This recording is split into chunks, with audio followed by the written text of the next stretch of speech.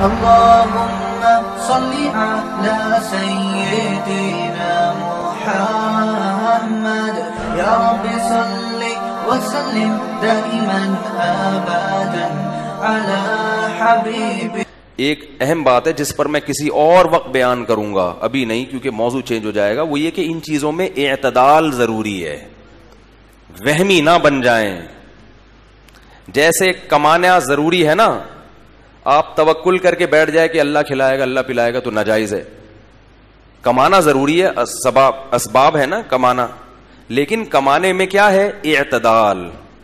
اتنا کمان، اتنا ٹائم کمانے میں لگاؤ کہ صحت کا خیال نہ رہے۔ یہ توکل کے خلاف ہے۔ اتنا ٹائم کمانو کمانے میں لگا دیا کہ بیوی بچوں کو ٹائم دینے کا آپ کے پاس موقع ہی نہیں مل رہا۔ یہ توکل کے ایسی صورت میں کہا جائے گا کہ کھلانے والی ذات اللہ کی ہے، تم پہلے تمام حقوق ادا کرو اپنی اپنی جان کے بھی، اور جو لوگ تم سے متعلق ہیں ان کے بھی۔ اس کے بعد جتنا ٹائم ملتا ہے کماؤ۔ اللہ نے اگر رسک کھولنا ہوا تو اسی میں کھول دے گا، اور اتنا دے دے گا جتنا چوبیس چوبیس گھنٹے کمانے والوں کو دیتا ہے۔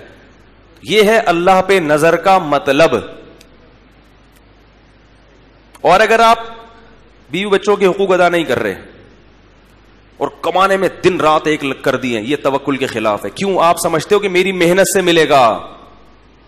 سمجھ رہے ہو؟ تبھی تو محنت کو فوکس کر رہے ہو۔ اللہ کے احکام کو فوکس نہیں کر رہے۔ تو مسلمان کہتا ہے کہ ملے گا اللہ سے، لیکن اللہ نے چونکہ محنت کا حکم دیا، اس لیے ہم اللہ کے کہنے پر محنت کر رہے ہیں۔ تو اس میں اعتدال، صحت کے معاملے میں بھی اعتدال۔